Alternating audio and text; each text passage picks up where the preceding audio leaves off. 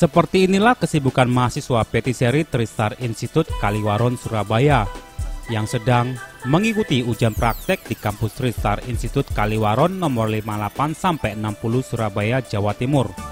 Ujian kali ini diadakan selama tiga hari, 14 sampai 16 Juni 2017, dengan tema cake. Namun cake yang dibuat berbahan dasar telur putih.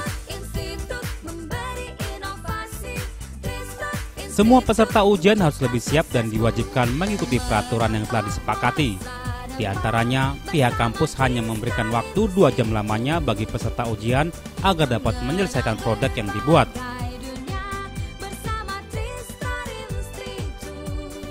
Seperti inilah yang terlihat, layaknya chef handal di bidang petisserie, para peserta ujian praktek ini meracik adonan satu persatu dengan teliti dan tingkat kedisiplinan yang dimiliki.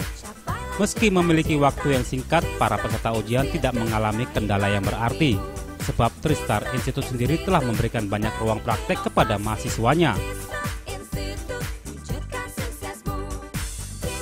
Tidak hanya menyelesaikan produk yang dikerjakan, namun peserta harus dapat mempresentasikannya di hadapan tim penilai, mulai dari cara membuat, bahan yang digunakan hingga nama produk yang dipilih.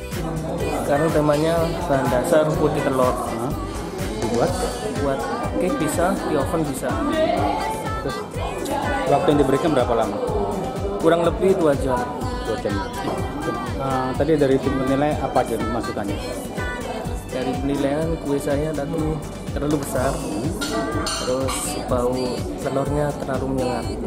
Terus harapan ke depan dengan adanya masukan dari tim penilai buat kamu apa? Harapan ke depan besok kalau lulus dari sini saya buka usaha dan Tapi senang ya ikut ujiannya? oh pasti senang mas. Dan inilah beberapa hasil kreasi peserta ujian praktek kali ini, yaitu cake berbahan dasar telur putih. Sampai jumpa di pertemuan-pertemuan berikutnya bersama kami Tristar Institute.